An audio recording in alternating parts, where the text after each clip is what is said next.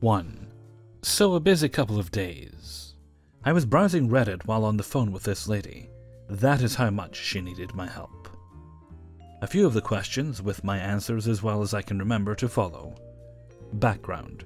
She wanted a special we are not allowed to give out in the store. We were not too busy, but we weren't dead. But I was the only insider in the store. Me, two drivers, that's all. Also, there was a lot of periods where she was discussing what was going on and what she needed with what sounded like several people in the background. And several pauses, but I won't be relaying those parts. I don't know how to order online. I need you to talk me through it. Okay. So what do I do? Go to hellfreezerpizza.com, order online. And then what? Before I can answer, she answers herself, which is good, because I can't remember what the layout says. Okay, I'm on the pizza. I just want cheese. How do I get just cheese? I'm dumbfounded. I see pork, beef, blah, blah, blah, light, normal, extra. Whatever it says, I wasn't strictly paying attention. I don't want any of that stuff. So, don't pick it? I honestly said that. I really don't know how I got away with that. I think it was rude, but I guess she wasn't paying attention. Okay, so how do I... Oh, okay. Longish pause, which I said I wasn't relaying, but apparently I'm rather untrustworthy. So now it says choose an address. What do I do? Uh, do you have an address saved? Probably not, right? I mean, she didn't even know the website. All the addresses are blank. What do I do? Add an address? Seriously. Nearly every remark I made was hesitant because I truly thought she was fucking with me. She obviously knew how to do the basic stuff on the computer, and everything I told her she had either found by the time I told her, or she found instantly afterwards. Okay, so it's in my cart. It won't let me send it though. Why won't it let me send it? Do you have the minimum purchase in the cart? Because I pretty much knew she did not. So from there it devolved into her being quite upset because she wanted just a single cheese pizza delivered for $8. It wasn't worth our time. Not overlooking the irony of how much of my meaningless life's minutes were used up in this farce. She refused to add anything to the order, got fed up with the whole net thing, and just had me charge her full price for a single cheese pizza. Nothing else. Wanted a deal, but I told her, honestly, even if I had any sort of deal for her, that would just take the delivery to below our minimum, and we wouldn't be able to deliver it. And when I mean honestly, by this time I had given up on nice and was going for straightforward honest. She didn't give me sass or get upset at all, from what I can tell, so I ended up respecting her a bit, even though the whole thing was a poop move. And while I was on the phone with her, I couldn't take calls from other customers, make pizza, drop wings, but I did get to Reddit for a moment. 2. I work with a local food delivery company in a small city, within a big county. We deliver food all across the country from local restaurants to customers who order online through our website or app. One day I had to deliver to a guy that ordered from downtown, where 80% of the places we deliver from are located. I look at the ticket. 11 miles from the restaurant. No CC tip. However, we have an automated distance fee that adds $1 after every extra mile. I still got paid decently. I arrive at the house and ring his doorbell. No answer. I knock again and ring his doorbell. No answer. Five minutes later, same thing. No answer. I keep trying the front door because this dude has a dog that was barking its head off at the entrance of the carport. I called a customer's cell phone that was provided on the ticket, and I could hear it ringing inside the house. While it was ringing, I put my face against the window next to his front door, and I could see his phone through the blinds laying on the living room table. No one was around. Couldn't visually see anyone, didn't hear any footsteps after the ringing stopped. Nothing. Great. The dog had left the carport by this point, so I go into his carport and knock on the door there. The very first knock of my knuckles on the door pushes the door forwards. The door was cracked open. Well, I'm thinking to myself, is this motherfucker dead? Was he killed? Is he just asleep? Did he overdose? What the fuck is up? I peep my head through the cracked open door. Look to my right first, and there is his living room, all messy with a pet iguana and snake in separate glass containers. What am I getting myself into? I thought. Then I look to my left. There is the kitchen, the sink, the fridge, the table, a screen door, and a pair of legs and a penis. Not the kind of tip I was expecting. This guy was butt-ass naked, sun-tanning on a lawn chair in his backyard. Listening to music with earphones in, knowing he ordered delivery an hour ago. Come on, bro. I kept knocking on the carport door, watching him with my peripheral vision, but I couldn't look at this naked fool. He still couldn't hear my knocks, so I pushed the door open and slammed it shut. Finally, he recognizes I'm at the door, turns sideways, and puts on a towel. He walks up to the door and takes the food. Thanks, man. Sorry, I was listening to music. No problem. Have a good one. I quietly laughed the whole way back to my car and messaged my dispatcher about what happened. Thankfully, I haven't had to deliver to this address again. 3. So this happened today, I'll try to keep it short. I am an assistant manager for the store I'm at.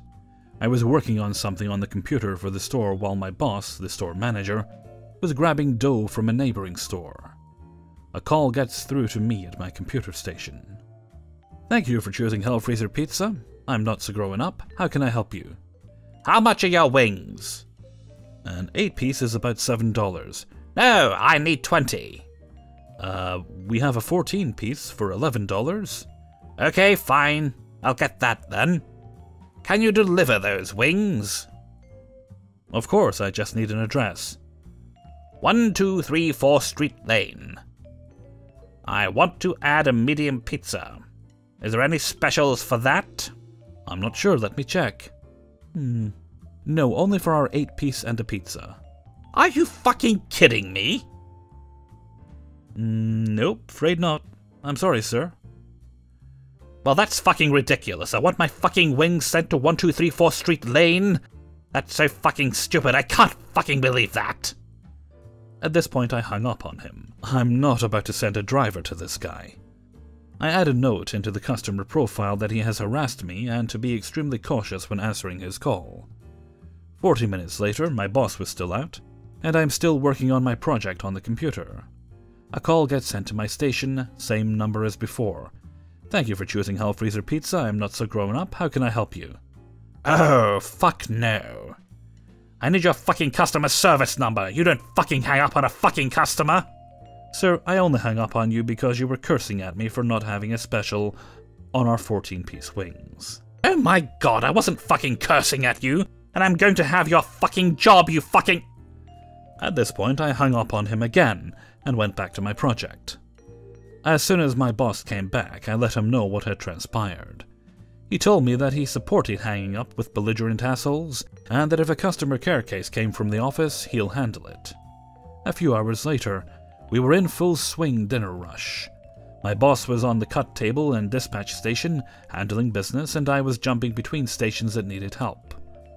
All of a sudden, I hear my insider from the main order taking station having issues with a phone call, and go over to investigate. Oh, I'm sorry, sir, but you don't have to curse at me. Oh, would you like to talk to my manager on this situation? Sir, cursing at me won't. No.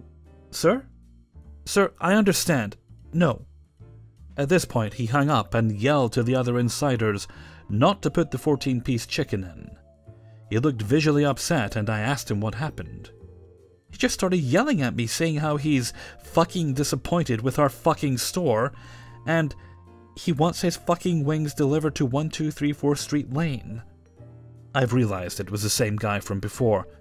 Hey boss, that guy that cursed at me just called in, the wings guy. Oh yeah? Yeah, he just yelled at O. Oh. Okay. My boss picked up the phone and called the number on screen. Hi, this is the boss from the Hellfreezer Pizza. I'm sorry, ma'am, but you're not allowed to order from us anymore.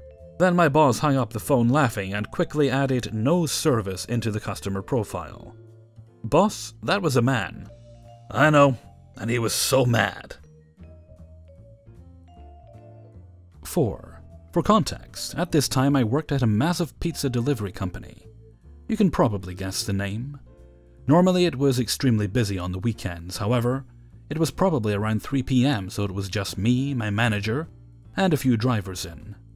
Most of our interaction with customers would be through the phone, and 99% of the calls we got were either complaints or questions about their order.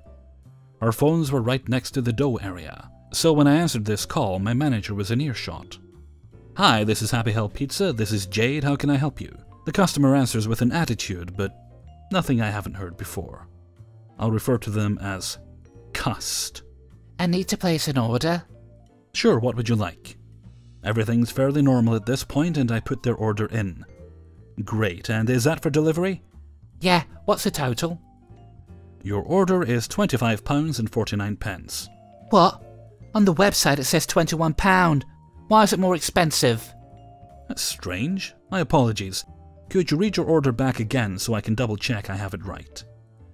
The website often has exclusive offers, ones that we don't have in stores, so this was probably why it was cheaper. Regardless, I checked the order anyway. She reads the order and I have it all correct on the screen. Yep, that's the order I have here. Well, why the fuck is it cheaper online? I'm not sure about that as we don't have any control over the website here. If the order is cheaper online, you can place it there and it will be delivered in the same amount of time. No, I want to do it over the phone. That's fine, but it will be £25 49 pence. Well, why the fuck is it more expensive? She is screaming down the phone now. So much I actually have turned the volume down. I'm sorry, but I'm not sure. We have no input in the website, but sometimes the website has preset deals, which may be why it's cheaper. But I want to order it here. That will be easier for you. Why are you making it cost more money?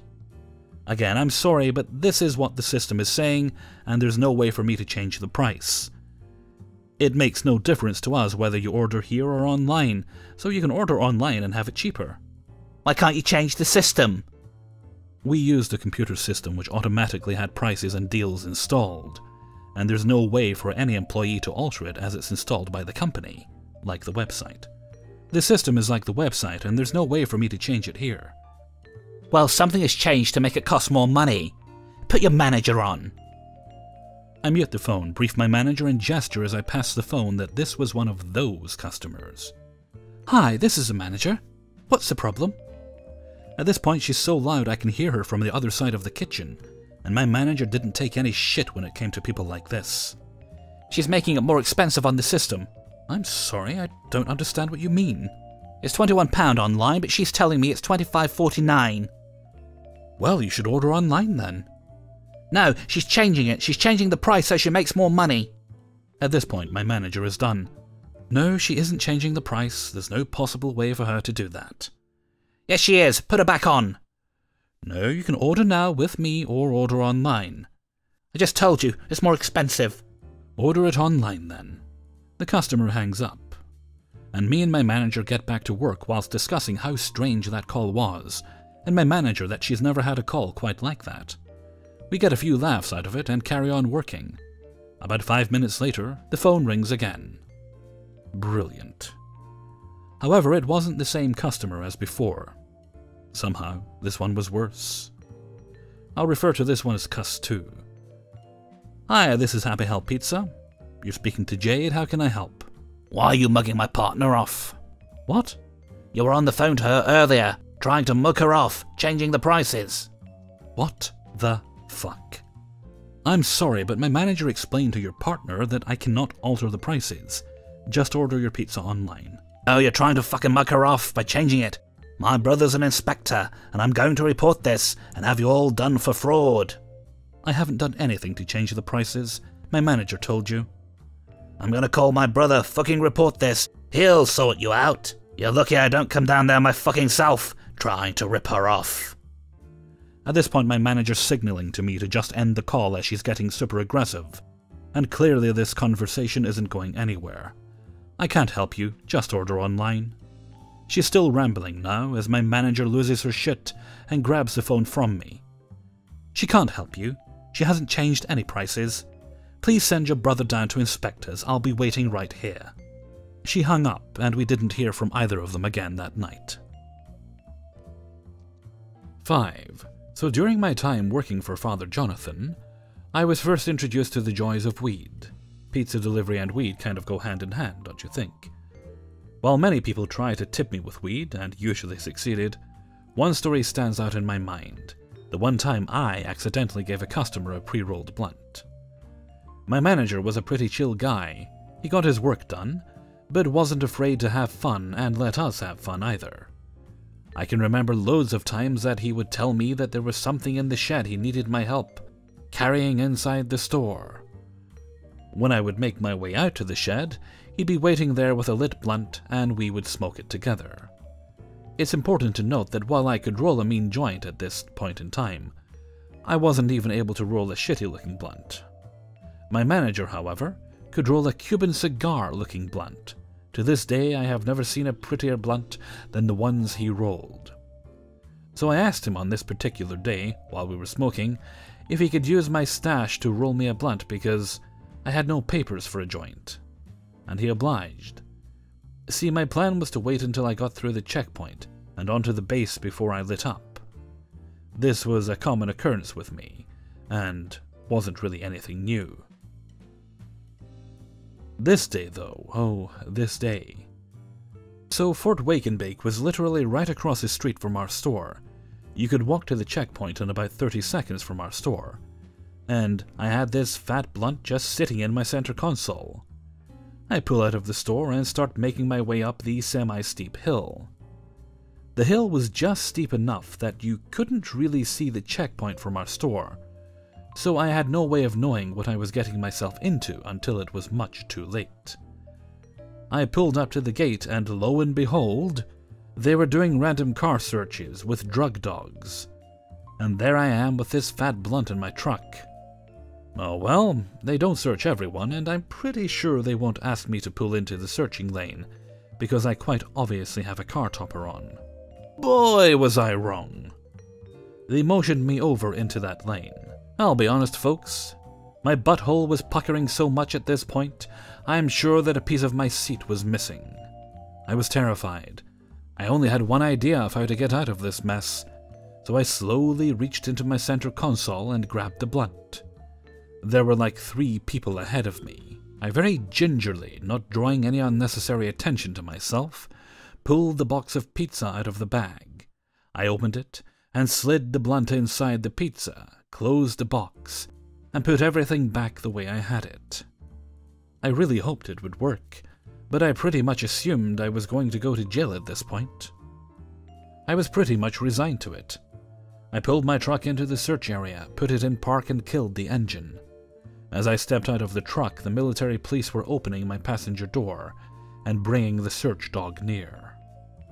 Of course, the dog immediately hit the scent and started barking at the pizza box. The cop surprisingly just said, Oh, he smells your pizza and wants some of it. Guys, now I know these dogs are trained way better than that. So please don't hit me with that logic. I know already. To this day, I don't know why he let me go without searching my truck. But he did. I can only guess that either he was feeling lazy that day or was giving me a break because I worked for a living. I don't know exactly what the deal was, but regardless, he let me go and I wasn't about to question the motives. I got back in my truck and pulled onto the base and started driving towards my delivery street. I was so worked up about what had just happened that I decided I was already high enough and wasn't going to light up just yet.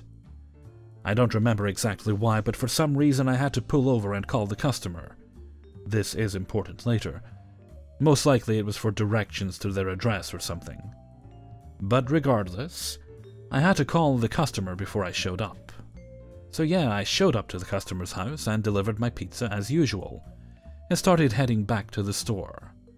By this time I had calmed down a little, so I reached for the... Wait, where did... No! So you guys remember where I stashed it, right? Yeah? I done goofed, didn't I? Just then my phone rang. Can you guess who it was? Yeah, the customer was calling me back. Hey man, I just wanted to let you know you left this blunt in my pizza. You want to come back and get it? I was like, no, you can have it. Then he just starts laughing. Well, good, because my wife and I are already smoking it. More laughing. Click. So yeah, I hope you enjoyed hearing about the time I almost got arrested and delivered weed instead of pizza. Hey everybody, Hellfreezer here, and thank you very much for listening to as yet untitled pizza video. I'll come up with something before I publish it. Well, this one took ages to put together, I think about a year actually. Just kind of gradually checking, checking, checking. And today was the day, so there we go. Okay, I'm gonna head off for now. Keep this outro a bit short because I've got a few things I need to get done for somebody who's coming to do stuff in my house tomorrow. Uh, nothing fun, but yeah, it has to be done. Uh, so I'm going to head off for now. So until next time, thank you very much for listening, and take very good care of yourselves.